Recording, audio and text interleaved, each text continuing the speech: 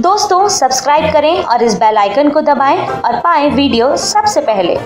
आपको बता दें कि जब इस खबर के बारे में जाँच पड़ताल की गई तो इस बात का पता चला कि इन तस्वीरों में दिख रहा बुज़ुर्ग आदमी असम के बड़े बिजनेसमैन की है, जिनका नाम राजेश कुमार हिमतसंग का है।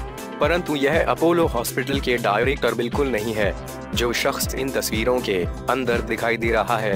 यह शख्स राजेश कुमार उन्नीस सौ सतासी में हिमत संघ का ऑटो इंटरप्राइजेज लिमिटेड के मैनेजिंग डायरेक्टर के पद पर नियुक्त किए गए थे।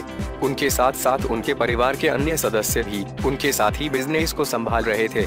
आपकी जानकारी के लिए बता दें कि जब राजेश कुमार हिमत संघ का से उनके विवाह के विषय में पूछा गया तो राजेश कुमार ने बताया कि सोशल मीडिया पर उनके विवाह का भले ही विरोध किया जा रहा है, परंतु यह उनके जीवन का निजी निर्णय है।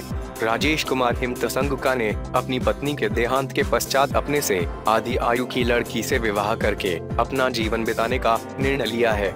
परंतु बहुत से लोग उनके विवाह का विरोध कर रहे हैं।